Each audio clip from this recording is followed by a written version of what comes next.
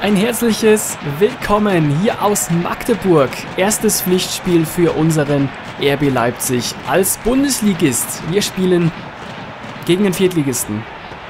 Und das wird, glaube ich, nicht so einfach, wie das auf dem Papier aussieht. Der erste FC Magdeburg ist schon so ein kleiner Favoritenschreck. Vor ein paar Jahren, ich glaube, da haben die mal die Dortmunder so geärgert. Kann mich aber auch irren. Baljak, ehemals Duisburg, und das ist ein dickes Foul. Das gibt auch sofort die gelbe Karte. Wahrscheinlich haben wir sogar Glück, dass es nur die gelbe ist. Diego Demme, wie kann man denn da so reingehen gegen Beil? Normalerweise hätte ich das andersrum eher verstanden, wenn das Hackebeil den Demme fault. So, Leverkusen führt schon durch den Leihspieler. Nassim Ben Khalifa, dritte Minute. Freistoß kommt.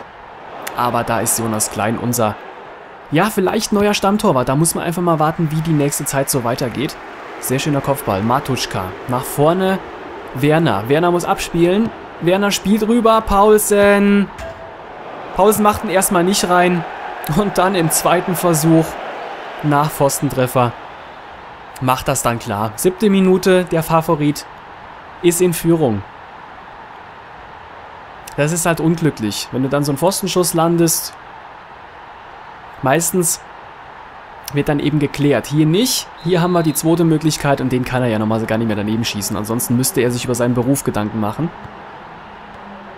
So, Magdeburg rennt natürlich jetzt der ganzen Sache nach. Ich denke mal, Dämme, da müssen wir reagieren. Zumindest in Form eines Tackling-Verbots. Lass mich das gerade mal machen. Ich sehe das schon wieder hinter dem hängt. Das ist schon nix.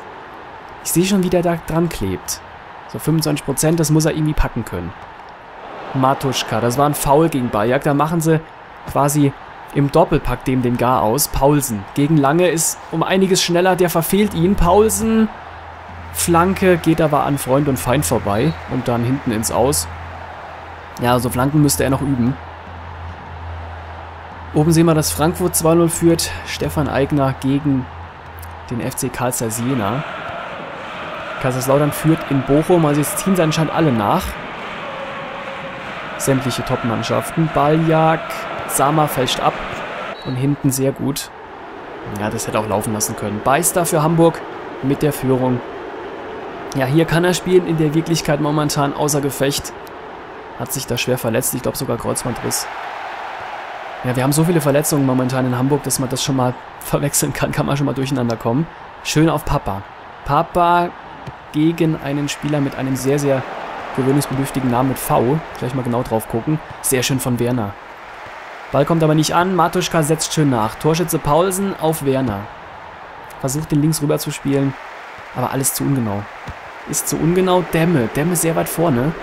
Das heißt jetzt nicht, wenn du nicht mehr tackeln darfst, dass du da vorne quasi auf Auflug, Ausflug gehen sollst. Engelke mit den gelben Schuhen schmeißt sich dazwischen. Sehr schön.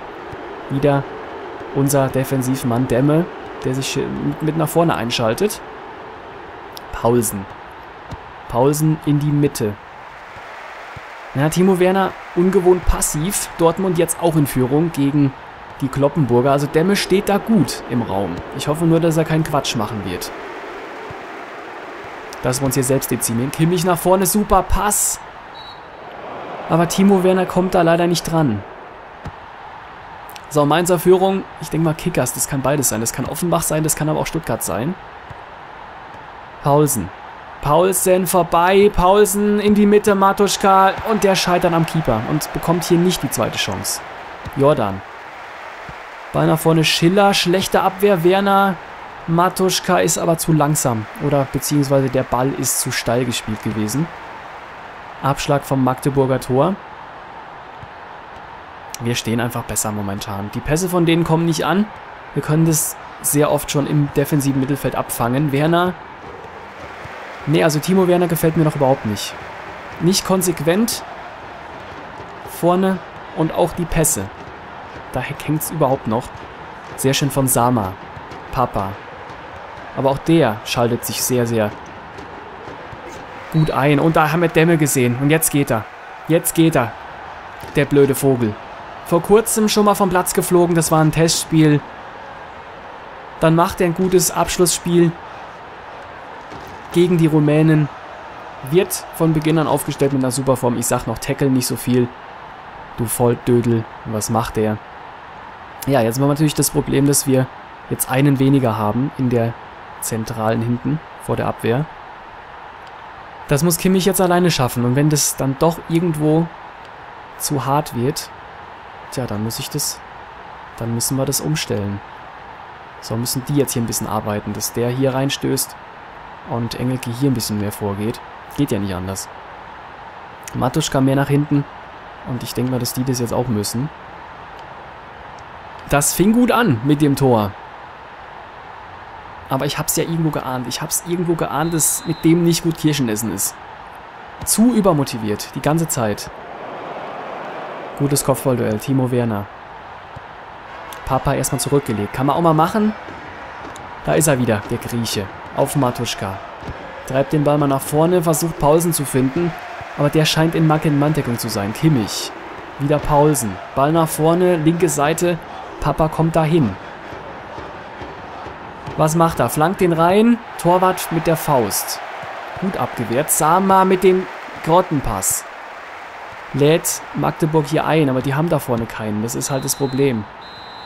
So, da müssen wir nicht mehr drauf gucken. Das war ein komplett schlechter Ball. Wir gehen mit 1 zu 0 in die Führung. Und auch in die Halbzeit. Tja, sehr früh, sechste Minute danach ist eigentlich relativ wenig nach vorne passiert. Diese eine Chance, die Matuschka hatte, das war's dann aber auch. Tja, jetzt werden die wieder schreien, die sagen, Dämme muss raus.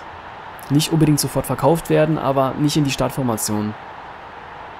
Wenn ich mir das so angucke, das ist auch sehr viel Licht und Schatten bei. Tolle Spiele, schlechte Spiele, dann wieder ein tolles Spiel und dann wieder ein schlechtes. Das ist heute. Konzentriert euch und wir sind ja in der nächsten Runde. Das sollte doch irgendwo machbar sein. So, hier wird mal alles motiviert. Pausen können wir mal loben. Hä? Moral minus zwei. Gib, zeig mir einen Menschen auf dieser Welt, der moralisch down ist, wenn er gelobt wird. Zeig mir einen. Naja, wir kennen ja dieses Spiel. Wir mögen es, obwohl es eben so ist, wie es ist. So, 3D-Modus. Gab es ja nicht so oft in der Vergangenheit. Und das gebe ich natürlich an euch weiter wie ihr das gerne hättet. Ähm, welche Spiele wir zeigen wollen oder ich zeigen will für euch. Ähm, in welcher Intensität die Spiele gezeigt werden sollen, das ist ein Foul. Es muss auch eine Karte geben. Ja, zu Recht hat er sich beworben hier, der Steffen Puttkamer, um diese gelbe Karte gegen Timo Werner. Sehr, sehr harter Einstieg. Ja, Nick Schieber. Ich werde jetzt nicht den Witz bringen, von wegen der spielt in Dortmund. Düsseldorf schon 4-0 gegen Worms vorne. Scherchan macht eine 51. das Tor. Matuschka mit dem Freistoß und da ist Paulsen einfach hellwach und nutzt diese Chance aus. 52. Minute, das ist die siebte Minute nach Wiederanpfiff, also eigentlich eklatant diese Schwäche von Magdeburg nach der Halbzeit oder beziehungsweise nach dem Anpfiff, erster Halbzeit. Da sind die anscheinend noch nicht wach. Mit einem Mann mehr. Paulsen mit einem Doppelpack. Ja, sehr guter Einsatz von Werner. Kommt aber nicht hin. Vielleicht war es sein Glück. Beil. Beil, Sama. Ja, bei Sama habe ich immer so ein bisschen Angst. Der ist mir sehr lässig da hinten. Da ist er wieder. Mit dem Foul. Wird nicht gepfiffen. Das war jetzt blöd vom Schiedsrichter, weil das eben die gleiche Situation war wie eben auf der anderen Seite. Jetzt war ich nicht ganz so hart. Paulsen. Langes Ding rüber. Ich bin gespannt, ob er hinkommt. Müsste er eigentlich schaffen, ja.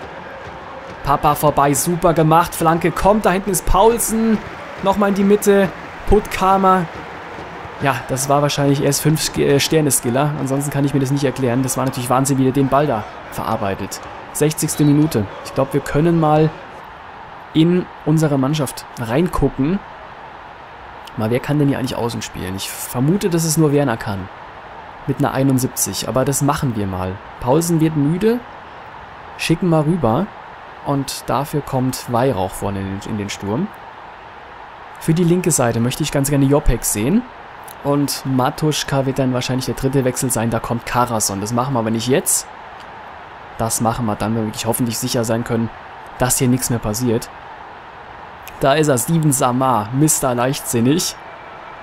Hier wird er nicht bestraft von dem Viertligisten. Da muss er dann natürlich schon noch an sich arbeiten, wenn es dann in die Bundesliga geht. So, Doppelwechsel. Jopek und Weihrauch rein. Paulsen, der Mann des Spiels bislang raus. Und auch Papa. Jetzt haben wir zwei linke, frische und rechte Spieler. Super Ball nach vorne. Weihrauch war das sofort. Das war ja ein Glanzpass von außen von Jopek. Wahnsinn, über 30 Meter nach vorne auf die Brust des neuen Stürmers und gut, der muss sich erst finden. 68. Minute. Die wir jetzt haben, schönes Kopfballduell gewonnen. Da ist Weihrauch auf Werner. Guter Pass. Jobek ist ja noch fit. Der ist flink und wird jetzt gestört. Es müsste Ecke geben. So ist es auch. Von Matuschka natürlich getreten, von wem sonst. Vorne haben wir ein paar große Jungs. Ich glaube, Engelke ist mitgekommen. Ja, im Endeffekt war die Ecke aber nicht gut. Kimmich klärt es erstmal nach vorne.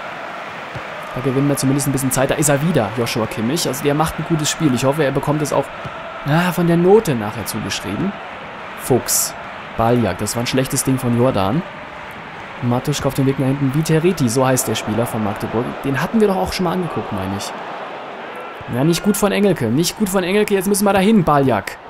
Jonas Klein klärt. Und dann wieder so eine riskante Geschichte da hinten. Also Leute, das kann einem nicht gefallen. Weihrauch wird gefault, es gibt eine Karte. Nicht. Aber zumindest den Freistoß. 77. Minute. Friebertshäuser. Cooler Name für Christopher Reinhardt. Und ich denke mal, wir machen jetzt auch den letzten Wechsel noch. Was ist mit Werner los? Irgendwie gefällt er mir nicht. Das ist nicht der Timo Werner, der in der zweiten Liga so gerockt hat. Also das ist nicht seine Vorbereitung, definitiv. Das ist wieder Beil. Beil gegen Samar. Das geht zu leicht, aber er ist, er ist komplett konsterniert. Der spielt dann nochmal raus, anstatt durchzulaufen.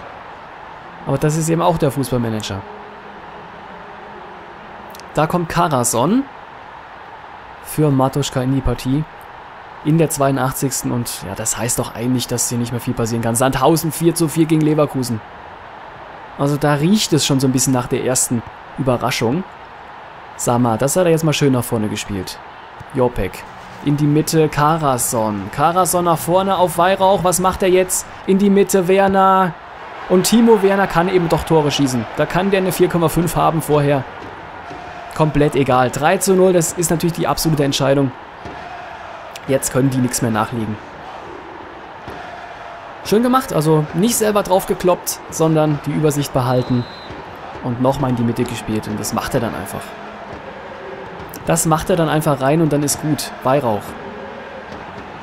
Ja, lässt sich von, den, von Beck den Ball abnehmen. Aber wir haben da eben hinten dann doch Leute stehen, die es ausbügeln können. Kimmich hat es super gespielt. Also als alleiniger Sechser, da haben wir Dämme gar nicht vermisst, um ehrlich zu sein. Abpfiff 3 zu 0, standesgemäßes Spiel. Magdeburg mit einer höchstens zwei Chancen in diesem Spiel. Und das reicht dann eben nicht. Eine ist es gewesen. Das reicht dann eben nicht gegen 10 Leipziger. Hätte ich mehr erwartet. Ganz ehrlich. Also diese Euphorie natürlich des Pokalspiels. Und es stand ja nur 1-0, als Dämme vom Platz flog. Das war dann eine Halbzeit, die wir mit 10 Mann spielen müssen. Und trotzdem kam so wenig von denen. Das waren eben die beiden Schlüsselmomente. Sechste Minute, das 1 0 und dann nach der Halbzeit auch wieder sieben Minuten nach Anpfiff das zweite Tor von Paulsen. Und ja, letztendlich dann in der 87. Das war nicht mehr entscheidend, da war das Spiel auch schon gelaufen. Da sehen wir die ganzen Ergebnisse, da gucken wir jetzt aber gleich drauf, ganz in Ruhe. Und das machen wir, wie gesagt, im Nachbericht. Bis gleich.